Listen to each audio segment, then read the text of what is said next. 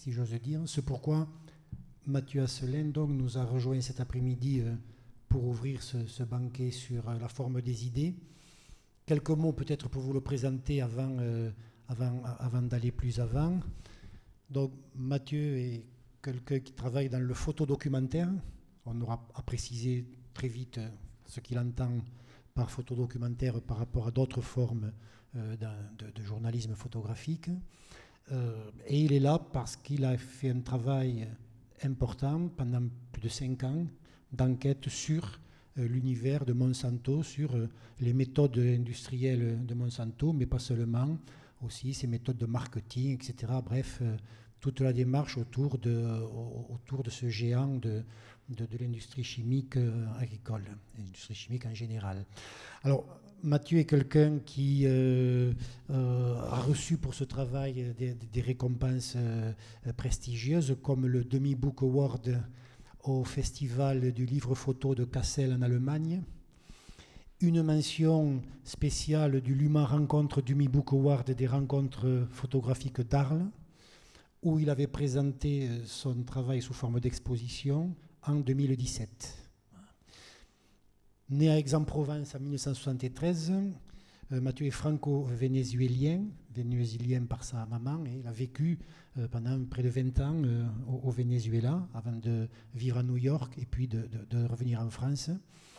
Il a commencé à publier des travaux photographiques en France dans des magazines, type Libération, le magazine Géo ou encore Paris Match.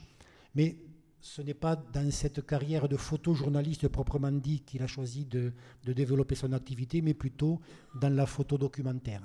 Alors comment il est venu à, Monsanto, il va nous le dire, mais je crois savoir que c'est par euh, votre papa, euh, Jean-Claude Asselin, qui, qui, se définit lui-même comme militant écologiste, citoyen du monde, qui vous a sensibilisé à, cette question de Monsanto, qui vous a donc poussé à, faire ce travail. Alors, première question que je voudrais vous poser, et qui nous plonge dans la thématique euh, du banquet, la, forme des idées, je vais vous poser une question euh, qui touche directement à la forme euh, même de, ce travail-là. c'est le photodocumentaire que vous avez choisi. Est-ce que vous pouvez, Mathieu, nous expliquer ce que vous entendez par photodocumentaire? Qu'est-ce qui se cache derrière cette pratique de, la photographie? Je sais que le mot enquête y est très important. Et qu'est-ce qui peut-être le différencie du photojournalisme plus, traditionnel que l'on connaît? Oui, et bonjour, merci, merci d'être tous ici. Euh, donc oui, ça c'est vraiment une question euh, qui est, euh, il y a beaucoup de polémiques entre le photojournalisme, la photodocumentaire, et moi je vois la photodocumentaire comme une façon beaucoup plus flexible de raconter des histoires. Surtout, ce que je trouve qui est important dans la photodocumentaire, c'est la relation qu'elle a avec le temps et le temps dans la photo documentaire est, beaucoup plus flexible. On peut, on peut partir en arrière dans le passé et raconter le présent, mais aussi on peut bien sûr projeter le futur. Et on peut faire tout ça et, pas linéalement, sinon on peut vraiment changer et, la façon que le temps est construit et comment on raconte une histoire. Aussi, une chose très importante dans la photographie documentaire, c'est le temps de réflexion. Et la photographie documentaire, normalement, c'est fait dans des très très longues périodes.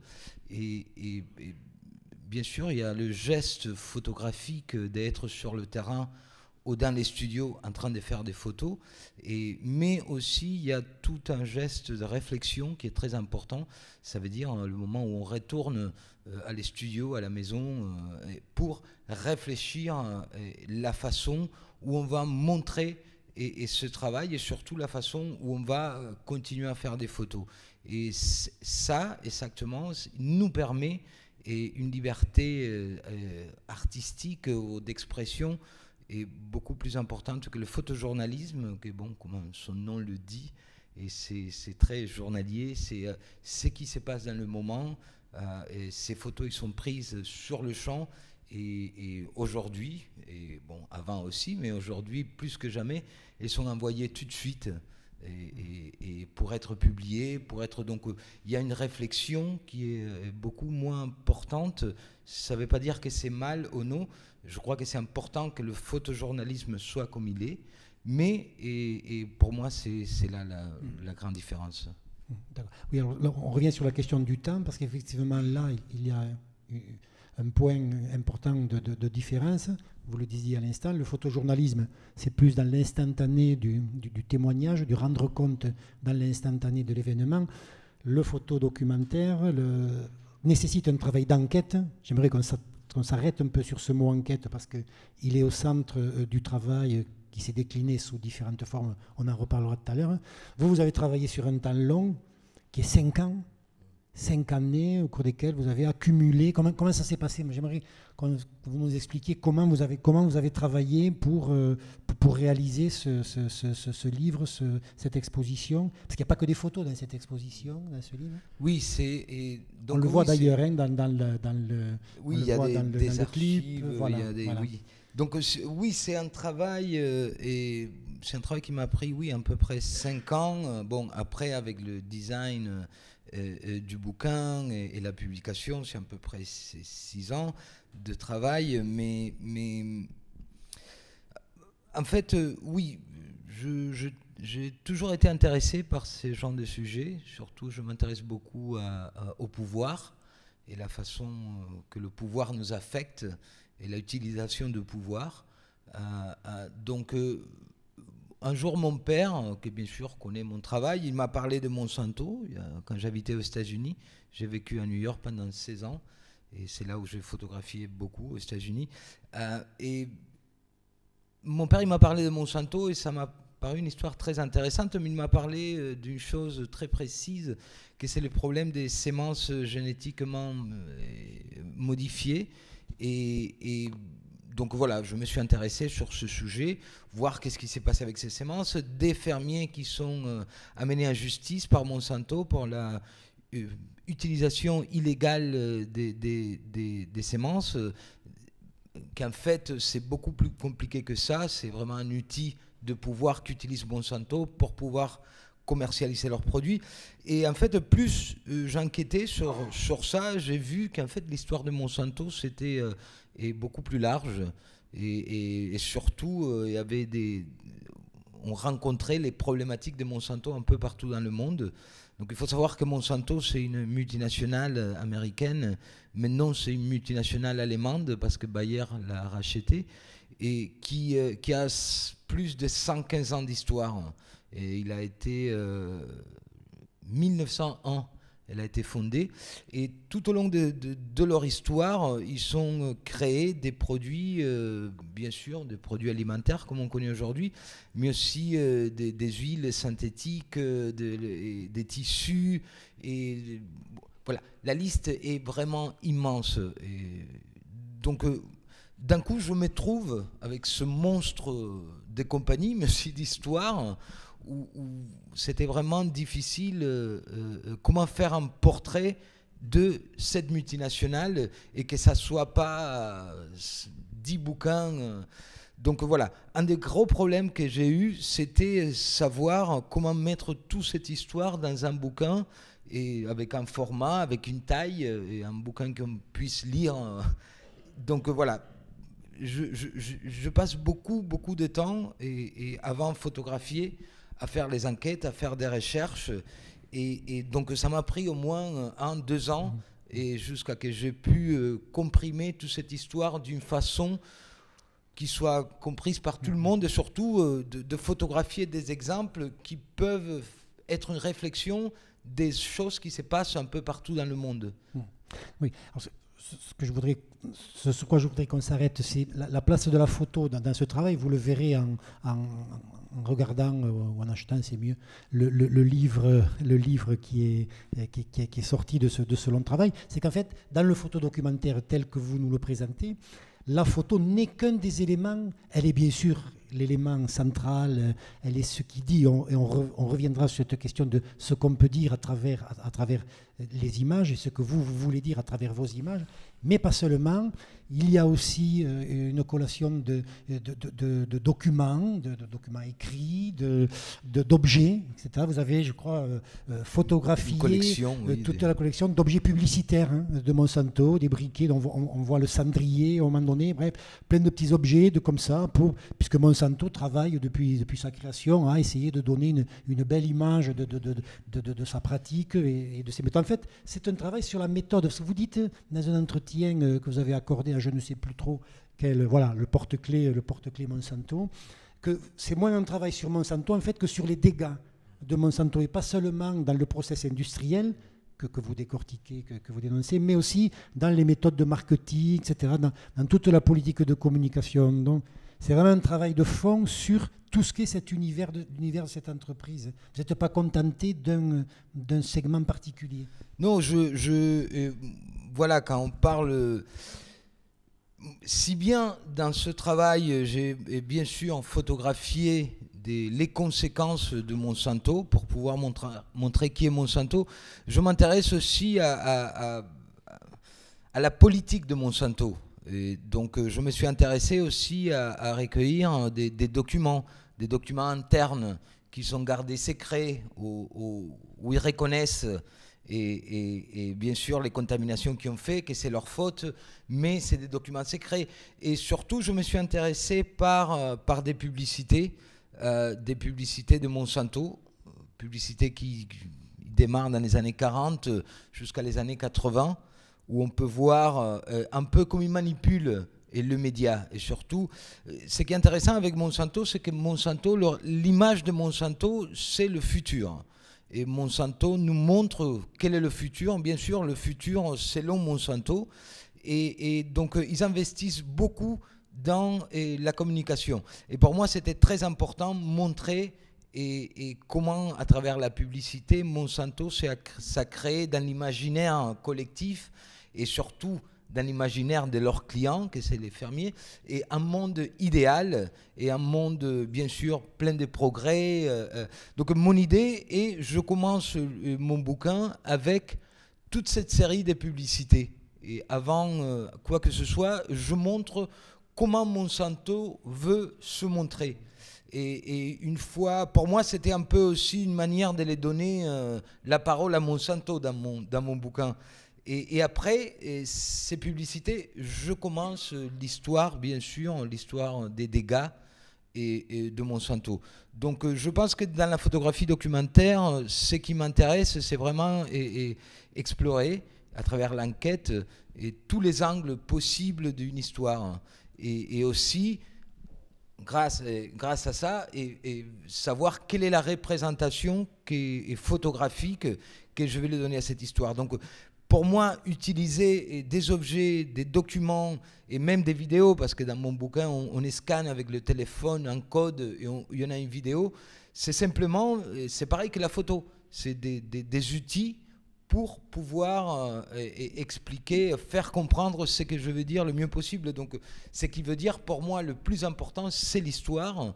Après, la photographie, c'est simplement euh, euh, un outil, un outil pour, raconter cette histoire.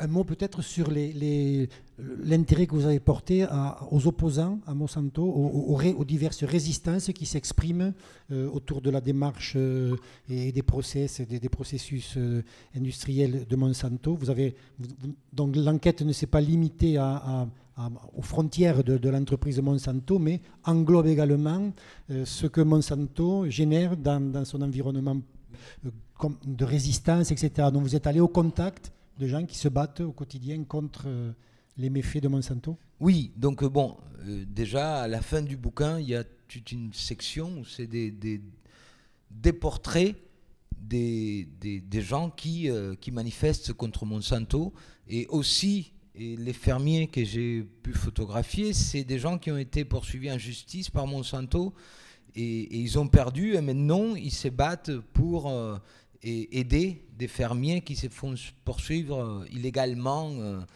par Monsanto. Donc euh, oui, je crois que, que, c'est important, mais aussi ce qui, ce qui est très important pour moi dans ce travail de Monsanto, c'est une fois que les photos sont finies, qu'est-ce qu'on fait? Et comment et, un travail documentaire peut aller au-delà des murs blancs ou d'un bouquin, euh, que c'est quand même un bouquin assez élitiste, c'est un bouquin qui coûte 55 euros, c'est quand même un délire artistique lequel, lequel j'apprécie beaucoup et c'était important de le faire, mais aussi je mets en place, plus que je mets en place, on met en place, parce que je travaille avec une toute petite équipe, que c'est un designer et, un, commissaire d'expo, que c'est lui qui, qui, fait le, commissariat de tous mes expos. Donc on essaye aussi de réfléchir comment on va mettre à disposition du public ce travail. Donc, euh, et, grâce à ça, on a pu exposer dans des, grands musées avec des parois blanches euh, et un petit cocktail avant le vernissage, mais aussi amener ce travail dans des, des, des, bibliothèques publiques, euh, le Parlement européen, une expo dans le Parlement européen, on a aussi plusieurs formats d'exposition qui peuvent, qui, peuvent, euh, voilà, qui peuvent être accueillis par des différents endroits et des différents budgets. Donc, euh, ce que je veux dire, c'est que euh, l'idée de la photographie documentaire, s'il s'arrête là, à une expo, ça ne sert pas à grand-chose parce qu'elle est très très limitée et tous les gens qui peuvent toucher. Par contre, si on vraiment essaye de construire une vie à ces photographies après d'être prise, avoir fait le bouquin. Et on peut, on peut vraiment amener le sujet au-delà de ça. Euh, là, on va faire une réédition du bouquin, que c'est une, une, réédition beaucoup plus petite, moins chère et plus accessible. On a fait aussi et un journal un journal qu'on distribue gratuitement dans les expositions. Donc voilà, c'est tous des outils et, qui nous aident à, pouvoir mener ce travail plus loin parce qu'en fait, et c'est, c'est, pas mon histoire. Je ne suis pas en train de raconter l'histoire de ma vie où vraiment je m'en fous combien de gens le voient ou pas.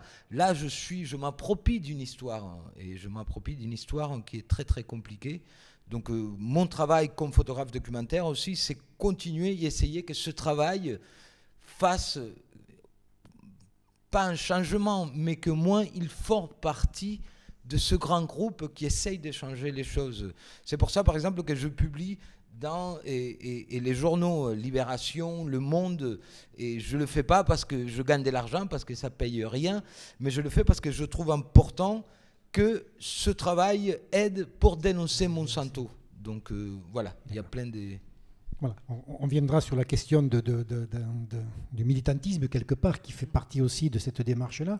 On comprend à vous entendre qu'il y a donc une vraie continuité dans le photodocumentaire entre le temps de l'enquête et le temps de la conception des différentes formes que va prendre le résultat de l'enquête pour être restitué euh, à, un public. C'est-à-dire que quand vous commencez votre travail, euh, j'imagine, vous êtes déjà dans un état d'esprit de vous dire attention, euh, ça pourra devenir un livre, ça pourra devenir tel format d'exposition et tout. Donc il y a vraiment une imbrication euh, importante entre la démarche intellectuelle de s'attaquer à cette question de Monsanto, du glyphosate, bon, de tous les méfaits, et en même temps la forme que vous, en tant que créateur, euh, vous, allez, vous allez donner à, cet ensemble. C'est totalement, c'est ça que je voudrais qu'on comprenne bien, c'est que c'est totalement indissociable. Quoi. Ah oui, oui, ça fait partie du travail dès le début. Voilà, c'est pas quelque chose qui est rapporté ensuite. Euh. Oui, oui, oui. C'est, pour moi, c'est et, surtout euh, et, avec mon commissaire, on, essaye vraiment de voir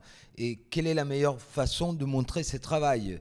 Et, par exemple, il n'y a pas seulement une question de, de de que ce travail soit vu pour le plus grand nombre possible des, des, gens, mais aussi il y a une question éthique.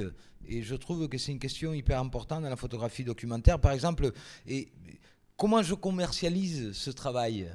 Euh, euh, Donc, euh, quoi Je vais faire parler sur Monsanto, tout ça, et mes photos, ils vont, ils vont se trouver et dans des collectionneurs privés, dans des comment on gère tout ça? Donc, par exemple, on ne vend pas les photos à des collectionneurs privés, on ne vend pas une seule photo, et parce que simplement ça devient un objet décoratif, et, on vend seulement à des institutions où les photos, ils ont, euh, le public a un accès à ces photos. Euh, euh, pareil avec les prix que j'étais nominé, et aussi il y a, des, gros problèmes avec ça. J'étais nominé pour un, prix très important dans la photographie, lequel j'étais très très honoré. Et on était quatre sélectionnés. Et quand on m'a donné la nouvelle, je me suis rendu compte que les sponsors du prix, c'est Deutsche Börse, que c'est une grande euh, maison de bourse allemande qui vend des stocks de Monsanto. Euh, donc, euh, donc, et, ça, c'est hyper intéressant parce que là, comme artiste, comme photographe, j'ai une opportunité parce que je crois que la clé, c'est pas seulement dire non, je vous aime pas, ciao, je veux rien savoir de vous, mais c'est savoir comment on peut, même en étant avec un sponsor comme ça, dire ce qu'on a à dire. Donc on a organisé, j'ai créé un nouveau chapitre qui s'appelle le chapitre numéro 5, qui est exposé pour ce prix. Euh, dans des Photographers Gallery à Londres et après au musée d'art moderne à Francfort, où c'était le chapitre numéro 5 qui n'est pas dans le bouquin, un nouveau chapitre qui parle de et, la bourse. Et on a utilisé toutes les données de la Deutsche Börse pour dénoncer comment euh, euh, comment la Deutsche Börse bénéficie, bénéficie de la vente des stocks de Monsanto. Donc voilà, et c'est là où je trouve que, un photographe documentaire devient intéressant. Faire des photos, bien sûr, mais c'est après tout ce qu'il y a autour de ça. Les expos, comment on montre le travail, quelle est l'éthique. Et donc oui, on, je, je, crois que c'est la moitié du travail, c'est faire les photos. On comprend bien, il y, a, il, y a, il y a un vrai propos, un vrai parti pris dans votre travail, en l'occurrence, voilà, c'est de démasquer. Hein. Et c'est pas pour rien d'ailleurs si chronologiquement, j'imagine, le livre commence par tous ces objets publicitaires, comme vous disiez tout à l'heure, montrer la façade, la vitrine Monsanto, et puis après euh, faire tomber les masques d'une certaine manière et aller voir derrière euh, la réalité et mesurer l'écart qu'il y a entre ce que Monsanto montre de, de lui-même dans sa vitrine et la réalité ensuite. il y a un vrai propos, c'est-à-dire que dans ce travail de photodocumentaire, finalement se pose aussi la question de la neutralité. Euh, parce qu'il bon, y a ce grand débat dans, dans le photojournalisme notamment. Euh, euh, le travail du photojournaliste doit-il être un travail neutre, c'est-à-dire être un témoin qui prend du recul, qui a, du recul, qui, ne prend pas de parti par rapport à ce qu'il montre, mais qui simplement montre. Vous, c'est tout autre chose. Je crois que la question de la, neutralité, elle est centrale un peu dans votre travail. Est-ce que vous pouvez nous dire votre rapport à ce que vous en pensez de cette question de la neutralité? Donc euh, oui, euh, il y a toujours cette idée que euh, comme, photographe, on doit simplement photographier les faits et après les gens euh, qui vont voir, le public qui va voir cette expo, les laisser une porte euh, euh, pour que eux, ils en tirent les propres conclusions. moi, je pense que c'est une absurdité. Et parce que, bon, déjà, en sachant que simplement le geste photographique, et quand on photographie simplement en photographiant, on a déjà un point de vue. Donc, pourquoi pas utiliser ça pour dire exactement ce qu'on veut dire et, et, et donc, euh, ce que, à peu près ce que je dis, c'est que vraiment, on a toujours une chose à dire, euh, comme photographe, comme artiste, comme écrivain. Donc, euh, ce qui est important, c'est savoir la façon qu'on l'a dit et comment on l'a dit. Et bien sûr, on ne peut pas raconter une histoire de n'importe quelle façon. Comme j'ai dit avant, c'est des histoires, au moins ce que je photographie, qui ne nous appartiennent pas. Donc il y a aussi une responsabilité. Par contre, euh, bien sûr, j'ai quelque chose à dire et je veux être sûr de que euh, cette chose va être dite dans mon travail. Donc cette neutralité et, que la photographie documentaire, euh, c'est un peu poétique. moi, je ne crois, pas, crois pas du tout en ça. Moi, si je fais un travail de 5 ans, c'est parce que j'ai quelque chose à dire. Donc je ne veux pas rater l'opportunité de la dire en matière de neutralité. On pourrait peut-être voir quelques images euh, fortes de, de toutes images fortes, mais des, méfaits de Monsanto, justement, quand vous photographiez ces, ces corps euh, mutilés. Euh, voilà, c'est pour illustrer le fait que rien n'est neutre. Rien, voilà, pas, pas qu'on puisse. Donc ça, c'est au Vietnam et c'est dans, dans Ho Chi Minh City et c'est dans un hôpital qui qui prennent en charge les, les gamins et, qui ont été euh, les, enfants. Il y a des, des, jeunes, euh, je ne sais pas comment dire en français, mais bon, 15 ans et 17 ans aussi, adolescents, des, adolescents. Et, on les prend en charge euh, parce que bon, beaucoup de ces enfants, bien sûr, sont, et sont orphelins et les parents, ils savent pas quoi faire avec eux. donc voilà. Donc oui, et je crois, ça c'est... J'essaye, j'essaye quand même toujours de m'éloigner un peu de ce type d'image, parce que, voilà, j'ai un peu de conflit à photographier la douleur et la misère des autres. Et j'essaye dans ma pratique documentaire de plus en plus de m'éloigner de ça. Je pense que dans la photographie documentaire, on photographie trop les conséquences des problèmes. On photographie beaucoup les conséquences des problèmes, c'est parce que ce que j'appelle une facilité esthétique. Normalement, les conséquences des problèmes, c'est très, euh, il y, a une partie esthétique de la douleur, de la souffrance qui est très euh, et, qu'on aime beaucoup et qu'on est très attiré à ça. Par contre, je trouve qu'une photographie de très peu d'où ils viennent et, ces problèmes-là. Et bien sûr, parce que c'est beaucoup, beaucoup plus difficile à photographier. Et, par exemple, c'est plus facile de photographier les victimes des armes que photographier les compagnies qui fabriquent ces armes. Par contre, je trouve que c'est là, et dans cette difficulté, où l'expression artistique peut résoudre ce problème. Et, ça veut dire la façon où on photographie et tous les outils qu'on utilise, comme moi par exemple, des documents. Euh, et donc oui, voilà. Euh, euh, j'ai perdu un peu le. Non, mais, je, je, vais compléter pour dire, pour corroborer ce que vous dites, c'est qu'effectivement, les, les, deux, trois, il ne faut pas avoir un regard faussé du travail de Mathieu par rapport aux deux, trois images qui viennent d'être projetées et qui forcément sont, ce sont des images fortes, extrêmement puissantes, c'est qu'il faut savoir que ça n'est pas la majorité des images qui sont dans le livre ou, dans les expos. Oui, mais c'est quand même des images qui étaient très très importantes. absolument, mais dans, le contexte mais des autres. Dans un contexte. Dans le contexte des autres, donc ce qui est un peu faussé par la projection là, puisque là on a le sentiment que non, effectivement, Pas, on va dire vous n'êtes pas dans le voyeurisme, c'est pas ça qui vous, non, non, mais, vous intéresse. Oui, on est oui, bah, bon, d'une façon ou autre, euh, et j'ai pensé que c'était nécessaire de mettre ces images-là pour entrer dans un contexte. Mais non, mon travail, c'est pas sur les enfants déformés du Vietnam. Mon travail, c'est contre la corporation de Monsanto. Après, après, bien sûr, on a toujours besoin des images fortes. On a pour, expliquer euh, un peu mieux la, problématique et surtout pour choquer. Je pense que ces images fortes, ils nous aident à choquer. Ce qu'il faut faire aussi attention, c'est euh, l'utilisation de ces images. Et ouais. Tout à fait, tout à fait. Est-ce qu'on pourrait en voir une autre, celle de la rivière rouge, si vous la, si, si vous l'avez. Pour la commenter, on l'a vu dans le. On l'a vu dans le. Je ne l'ai pas ici. Non, on pas. Bon, non, mais on peut la mettre. Euh, on la met. On la met là et je vous... Elle est là. Je sais que je l'ai vu dans le, dans le clip, dans le petit film. Elle est là. Voilà. alors là, c'est une, c'est une image. Euh, vous, vous, allez, vous allez nous la, nous la commenter. fait, je crois que c'est bon. Les, personnes l'ont vu. Donc voilà, c'est une photo donc où on voit la, la, la, rivière, la rivière toute rouge. Mm. Voilà. Bon, il faut savoir que c'est pas la couleur d'origine de la rivière. Non, non, non, c'est. Euh, il y a donc, racontez-nous, Mathieu, euh, donc, comment... Euh, mais c'est bête que je ne pas, parce que la raconter sans la voir, c'est un peu difficile. Mais oui, en fait, cette, cette photo, c'est à Aniston, dans l'Alabama.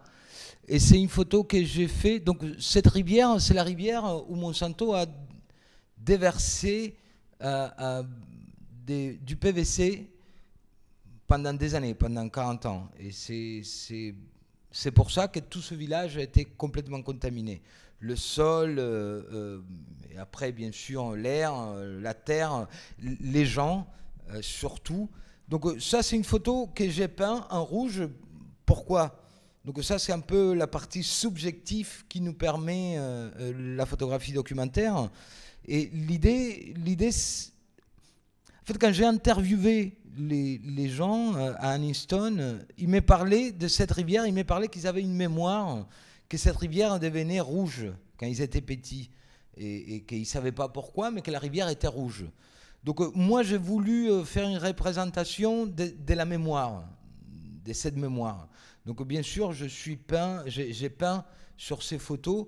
après, si la rivière, elle était vraiment rouge ou pas, on va jamais le savoir parce que bon, c'est un souvenir d'enfance. Aujourd'hui, c'est des personnes, il y a 40 ans qui ont, qui ont passé. Mais ce qui était important pour moi, c'est ça, c'est c'était du, c'est du parler de, du taux de contamination et surtout comment faire un portrait de la mémoire des gens et de cette rivière. Alors, le fait que ce soit de la peinture acrylique me pousse à, vous poser peut-être une, avant-dernière question avant, avant que l'on conclue. Plusieurs fois dans notre conversation, vous avez prononcé le mot artiste, etc.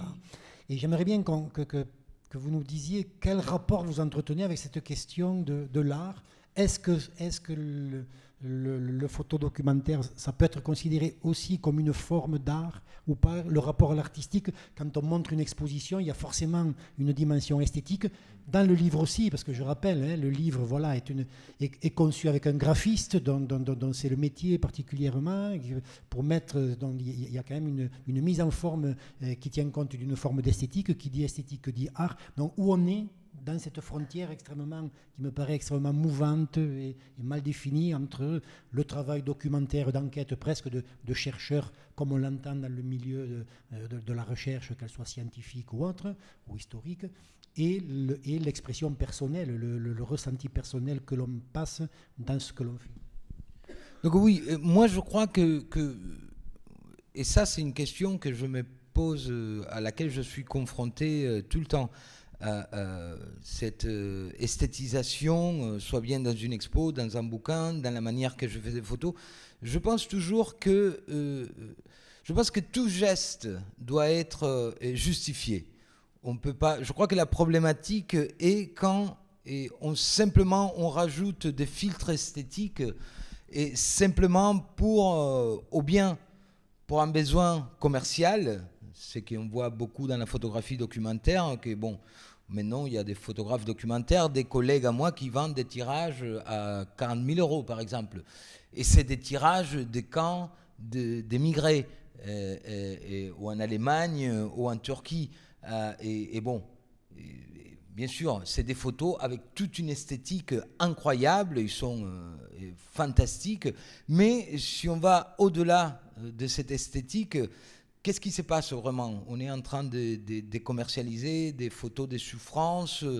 donc euh, c'est pareil dans les expos. Et, moi, avec mon commissaire, on essaye toujours d'organiser les expos.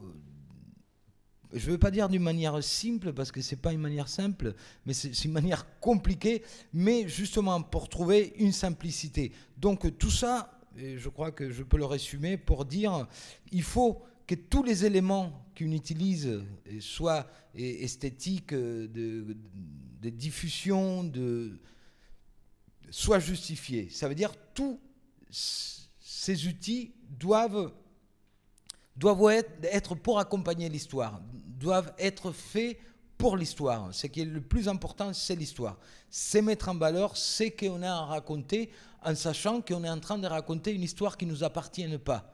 Euh, euh, donc voilà, je trouve que l'importance, et je trouve que oui, qu'à travers euh, l'expression artistique, moi je dis toujours quand on me demande, vous, vous êtes un artiste, je dis, écoutez, j'ai pas trop le temps pour réfléchir à ça, ça c'est aux autres de dire si je suis un artiste ou pas.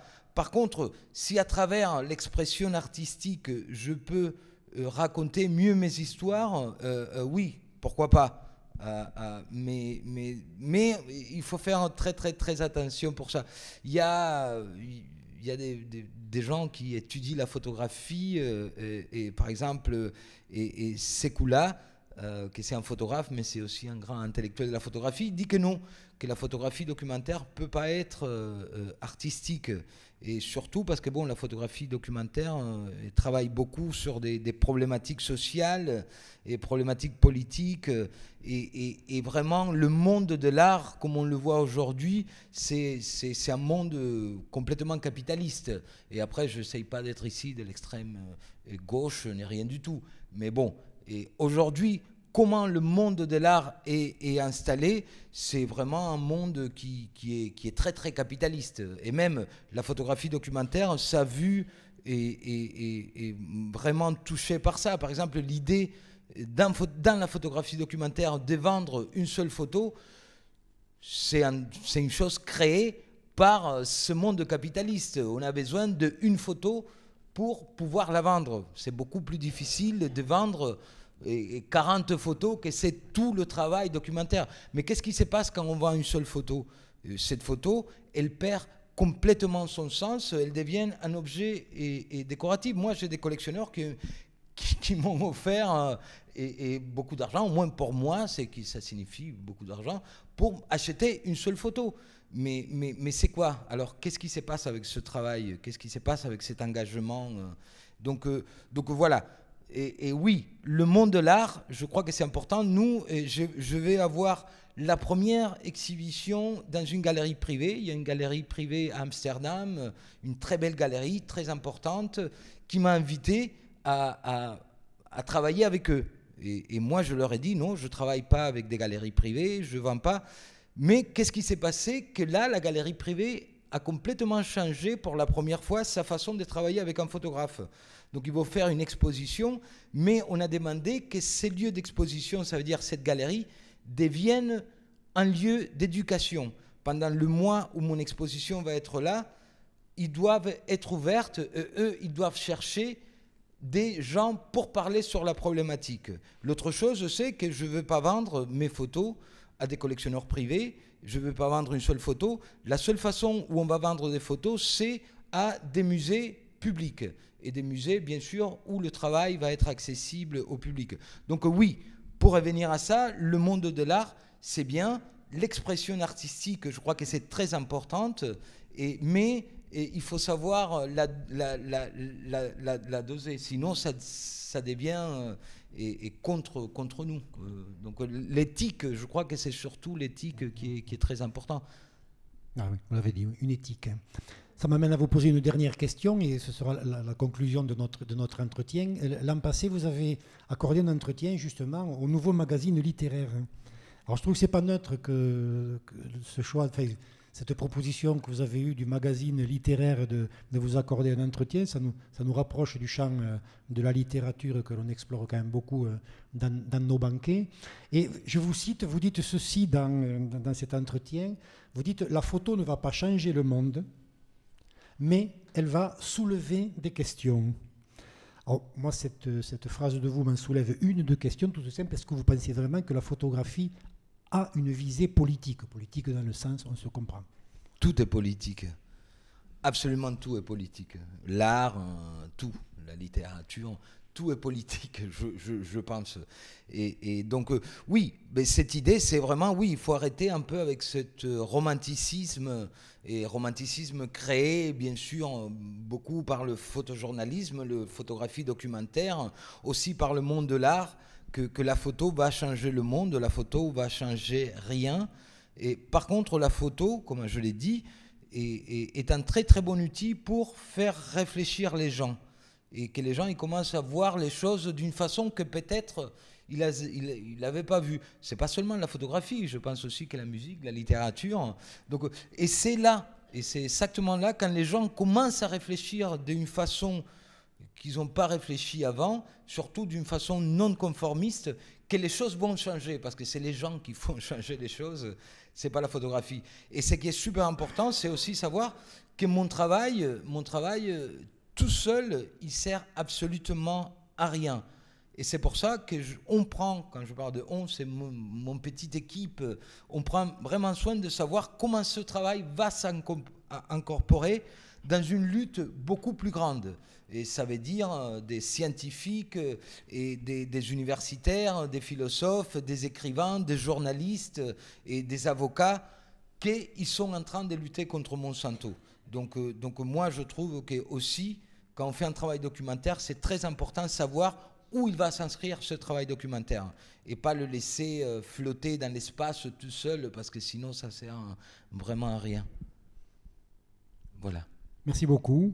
si, si euh, finalement, si Arthur Rimbaud a pensé au moment donné que la poésie pouvait changer le monde, bon, il en a vite, il en a vite rabattu, mais n'oublions pas, il nous a aussi, par son écriture, rendu au sol pour reprendre son expression, c'est ce que vous faites très exactement. Vous nous rendez à la réalité, à la réalité du monde, et en tout cas à une approche de sa réalité. Et après, c'est à nous de changer. c'est à nous de le changer, le monde. Merci beaucoup, Mathieu Solem, pour cette intervention. Merci.